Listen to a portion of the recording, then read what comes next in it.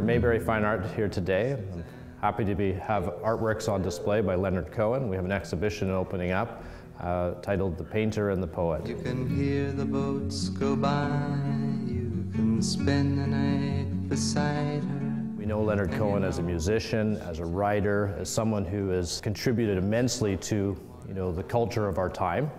And um, many people don't know him as a visual artist. He's a non-traditional visual artist in that he doesn't have an ongoing practice, He doesn't have an ongoing studio practice, but what most people don't know is that many of his poetry books that he writes in uh, are, are actually annotated with, with uh, images. And it's those images which have been, now been created into a series of limited edition prints, which we have on display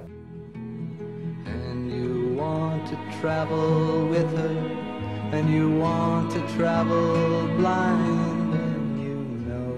What I found impressive about the work is on the surface, the images have a, the appearance of being very, what I would call almost like folky. He's not self aware in the sense that He's just drawing very freely from his imagination. And Jesus was a sailor. What's interesting about these is that they often uh, incorporate text based on his writings, and so the images run parallel, and you can derive a, a comparative meaning by reading the text and also reading you know, the images as well. A lot of the works that'll be on display are also his self-portraits, and uh, they're interesting to see his own musings about his own image. Until the sea shall free them.